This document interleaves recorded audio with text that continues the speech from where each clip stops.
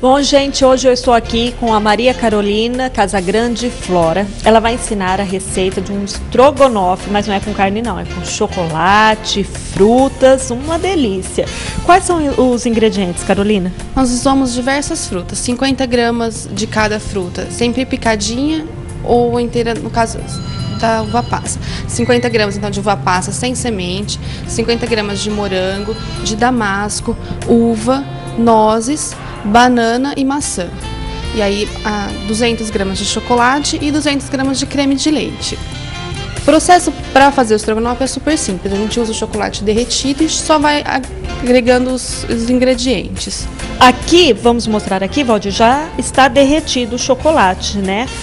Como que foi esse processo? Isso, para derreter o chocolate a gente pode usar tanto banho-maria quanto o micro-ondas. Se for no micro-ondas, lembrando sempre que potência de 50% e de 1 em 1 minuto você vai mexendo até o derretimento total do chocolate. Que a gente usa para 200 gramas por volta de 2 minutos, 2 minutos, 2 a 3 minutos. Já é o suficiente. Então aqui nós vamos misturar 200 gramas de creme de leite, O creme de leite pode ser com soro mesmo? Com soro mesmo, da caixinha ou latinha. E a gente só vai misturando. Agora a banana, 50 gramas de banana picadinha. O morango. Damasco. A uva passa. A uva sem semente a maçã e as nozes. Agora a gente mistura tudo até ficar bem misturadinho. Agora, depois de tudo bem misturado, a gente leva para a geladeira por no mínimo umas 4 horas, 4 a 6 horas para ele ficar, ele fica mais firme por conta do chocolate, dá uma geladinha. Depois é só servir. Essa parte aqui, que é o recheio, já está pronto. Pode servir assim, né? Ou tem uma novidade, a cumbuca, né? Isso, a gente vai servir na cumbuca de chocolate. A gente faz ela.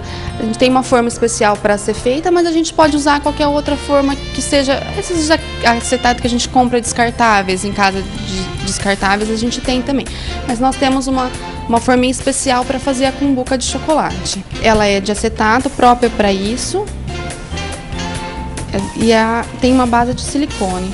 Ela tem uma marquinha que a gente coloca o chocolate derretido já, e temperado até a marquinha, coloca o silicone e leva a outra parte, a terceira parte da forma e leva para a geladeira até o chocolate endurecer. Bom, o chocolate, o processo de derretimento foi no micro-ondas, a mesma coisa, de um em um minuto, abre. Isso, de um em um minuto. Se for o chocolate puro, ele precisa ser resfriado antes de ser colocado aqui. Se for aquele chocolate fracionado, não há necessidade desse resfriamento, do choque térmico que a gente chama. Para você dar o choque térmico, você tem que chegar ele até 29 graus, para você poder usar ele e endurecer sem ficar aquele chocolate que fica derretendo com calor. Bom, se for fracionado, então é só colocar na forminha, né, e levar na geladeira. Depois que desenformar, vai ficar daquele jeito ali. Aqui o chocolate. Aqui nessa forma tem a, tem a marquinha. Aí coloca a parte do silicone, a outra parte da forma, vira ela. E, e assim vai para a geladeira bem prático, né? É, é, fácil mesmo, é só colocar então aqui, dá pra ver a marquinha, olha, do chocolate e fechar que ele já esparrama e preenche toda a forma. Isso, é só colocar ele pra geladeira e até ele endurecer, ele fica branco e depois a gente tira e vem a cumbuquinha certinho, a gente vai servir na cumbuca de chocolate para ser uma coisa, um diferencial na hora de servir essa sobremesa bem rápido na geladeira, já ficou esbranquiçado. Agora é só desenformar. Isso, agora é só desenformar. A gente só tira as formas e daqui. E a cumbuca já sai prontinha. A gente depois limpa essas rebarbazinhas e fica a cumbuca prontinha para servir o estrogonofe de chocolate. Para essa receita, papel e caneta na mão.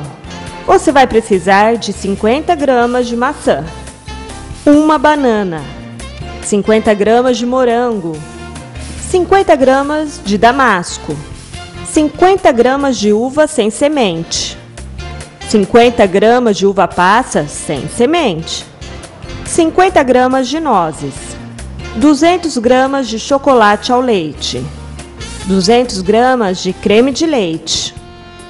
Para cumbuca, apenas chocolate ao leite.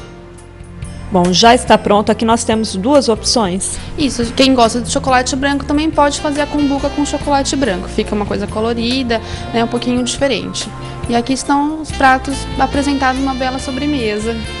Olha, gente, maravilhoso, com frutas, uma mistura de sabores. Olha, vale a pena, é bem bacana. Tá aí a dica e eu espero você na semana que vem. Muito obrigada pela participação. Obrigada a vocês.